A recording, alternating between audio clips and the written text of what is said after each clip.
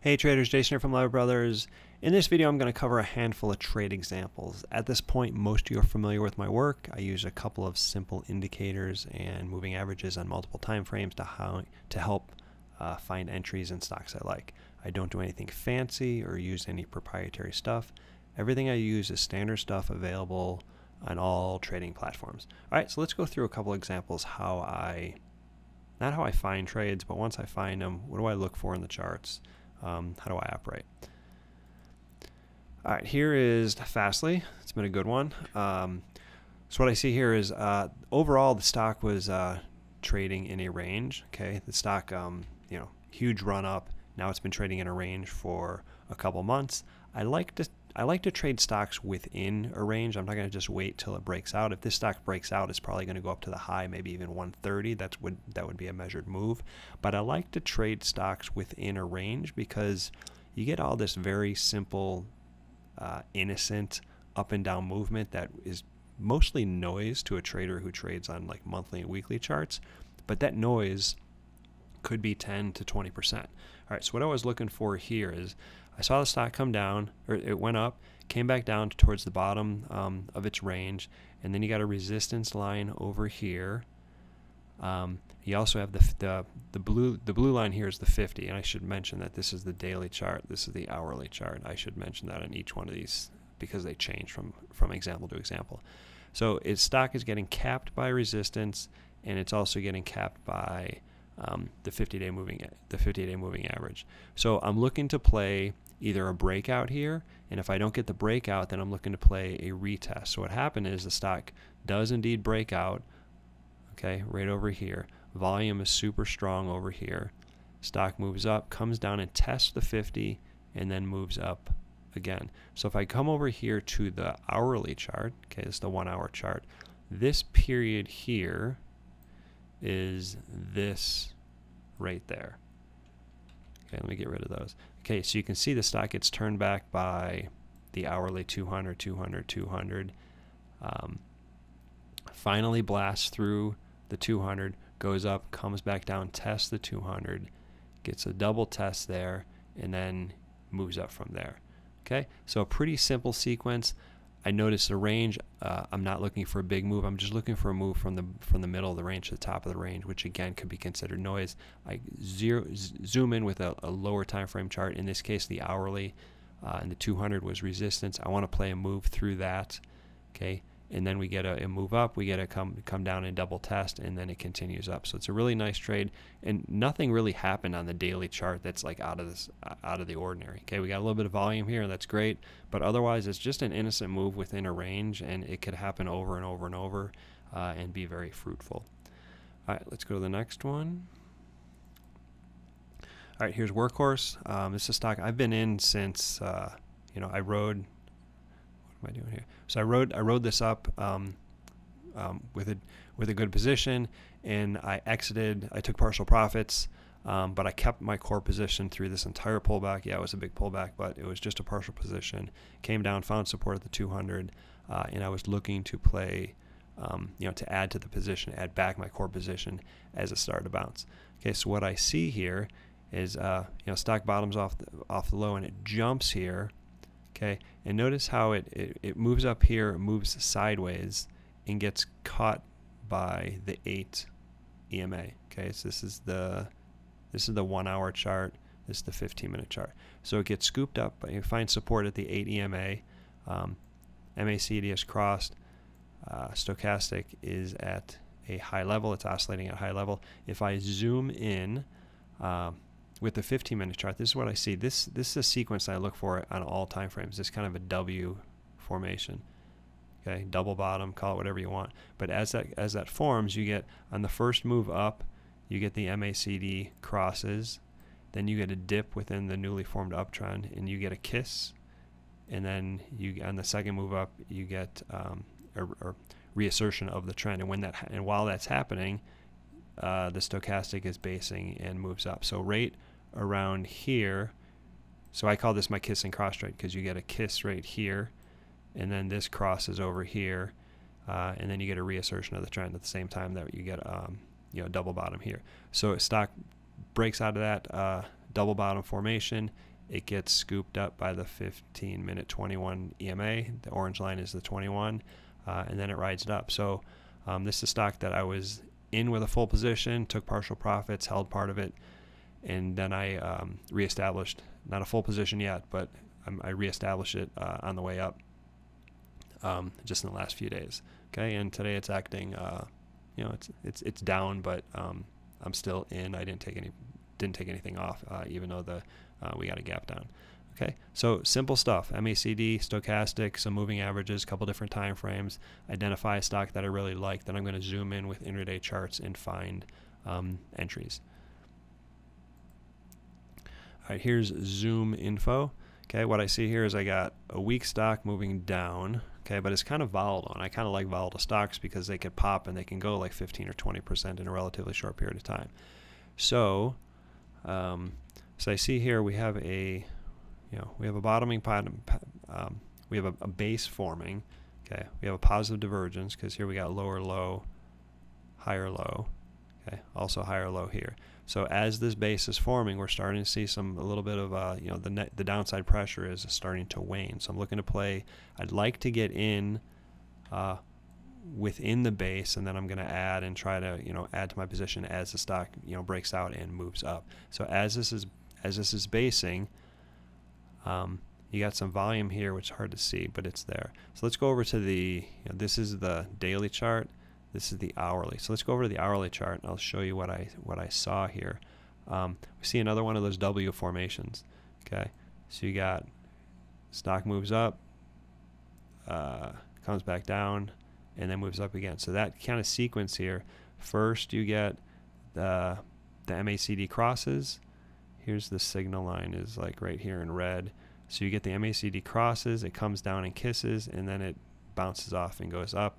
And at the same time, you get this kiss here, the stochastic cycles down um, and gives you, you know, it helps time the entry. Okay, so this entry over here is going to be within the pattern, which is good. I, li I like entries within the pattern because if it comes up and it gets rejected, then I can get out and still make money. If it breaks out over here, but then fails, I could get out and make money. But if you wait until the breakout, then you know a, failure tends to you know means you're going to have a, have a loss. Okay, so there's an entry there within the base with this kiss and cross trade on the hourly trade on the hourly chart. Uh, stock moves up, comes down and tests, and then moves up from there. And on, on the 15 minute chart, you can see it moved up, came down, did a double test. You know, here was the resistance line. So it basically basically broke out, came down, did a double test on the former resistance level, and now it's doing very, very well. All right, next chart, Apple. Um, you know, Apple's drop from here to here is pretty big. You know, 20%, 25%. I forget what the exact number is, um, but it just kind of shows you that uh, uh, that even super high quality stocks, you know, are going to undergo some pullbacks, and that's those pullbacks are great. Those pullbacks are a gold mine to to identify a fantastic stock which has an underlying bid and is very likely to do very well. For it to give you a 20% pullback is an absolute gift. All right, so what I saw here is you see a positive divergence here, lower lows, higher lows there. Um, I see a basing pattern here with the stochastics. Everything is kind of shaping upwards. This thing is dropping, dropping, but downside pressure is waning. The bulls are starting to assert themselves a little bit. Um, and then so I'm going to look to play.